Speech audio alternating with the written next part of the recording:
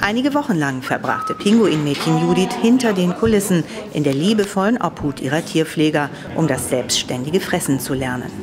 Zuvor verpassen Dave Nelde und Sebastian Behrens ihr noch ein kleines grünes Armband als Erkennungszeichen. Jeder unserer Pinguine hat äh, einen Mikrochip unter der Haut, nur den sehen wir Pfleger halt nicht.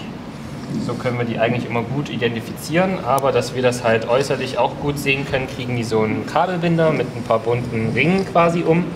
Die weiblichen Tiere auf der linken Seite, die männlichen Tiere auf der rechten Seite.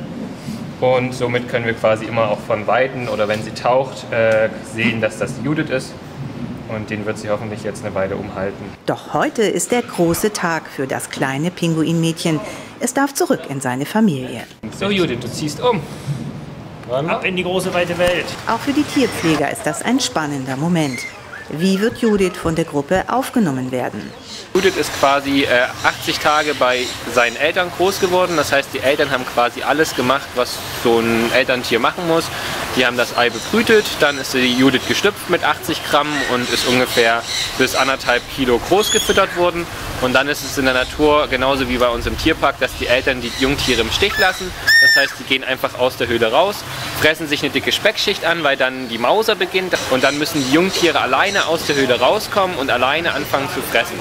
Und das ist halt die Schwierigkeit und da da viele Jungtiere auch in freier Wildbahn sterben, machen wir es bei uns im Tierpark so, dass wir die hinter die Kulissen packen und dem Pinguin zeigen, wie so ein Pinguin im Zoo fressen muss.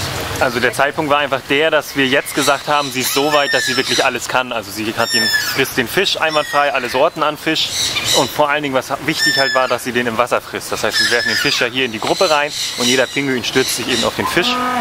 Und bei Judith ist es eben auch so, dass sie jetzt hinter den Kulissen diesen Fisch sofort gefressen hat im Wasser und so können wir sicher sein, dass sie hier eben genug abbekommt. Die Gruppe macht einen gelassenen und ausgeglichenen Eindruck. Die Befürchtung der Tierpfleger, dass die Jungtiere des vergangenen Jahres rabiat werden, um Judith erst einmal unterzuordnen, bewahrheitet sich zum Glück nicht. Es ist natürlich ein schöner Moment, wenn jetzt äh, der kleine Pinguin wieder in der Gruppe rumschwimmen darf. Es ist natürlich für uns Pfleger auch schön, wenn die hinter den Kulissen sitzen und wir so ein bisschen mehr Kontakt mit denen haben, als äh, wenn die in der Gruppe sind.